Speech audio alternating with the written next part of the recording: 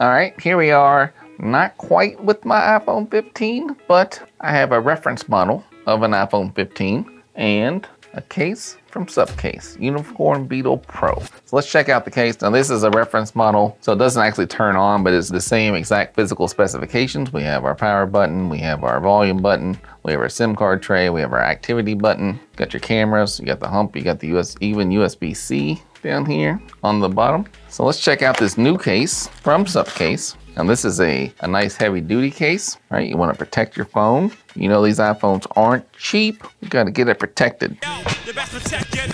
All right, so it's a couple pieces of the case. There's the outer shell, there's the outer protective case, and then there's the in the screen protector, also bumper case, right? So there's two sides, right? So you actually have a screen protector here built into the case. Now this is the 6.1 inch reference model. So iPhone 15, of course, the regular and the Plus come in 6.1 inches. You can tell even there's a hole there for the camera, even though the dynamic island is on the camera, it's only the hole actually, it's the actual camera, right? So that's more sensors and stuff. So you slap that front piece on, slap the back on, so it snugs up there, right? And we have, of course, the camera is protected from that nice lip the new USB-C port is protected by this little flap. All right, and then on this side, we have the power button, of course. And over here, we have the volume buttons and the activity button. And we have another trick up our sleeve. We Got built-in kickstands. So you can have it up there if you want to watch vertical videos like in TikTok or Instagram or YouTube Shorts,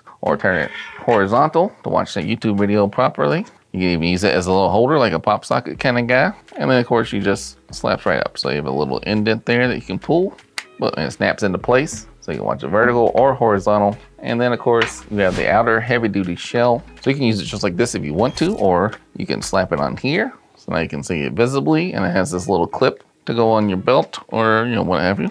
And then this will rotate as well so you can put it sideways on your belt if you like or vertical, right? And then you just pop this little button, it comes right out. What we can do here is just put it in like this. So now it's pretty protected, right? The front screen has that interior clear screen protector and this big heavy duty shell. And then of course the back has this double layer of nice protection here, right? So it's pretty good, right? I mean, that is, uh, you know, nice and convenient if you want to wear it on your hip. Or again, you don't even have to use this. You can just use the phone like this for the most time. Then maybe if you're going somewhere where you may damage the phone, you may want to put it in a little extra protection here, right? So yeah, I dig it. This is a wireless charger. This is, of course, a dummy phone, so I can't test it because it's obviously not gonna power on. But I believe wireless charging would work through these cases. I've had cases like this before and wireless charging generally works through them. So I like it. I've had experiences with Unicorn Beetle Pro in the past, the Supcase ones. I had a couple of their cases and they get the big thumbs up for me. All right, thanks for checking me out.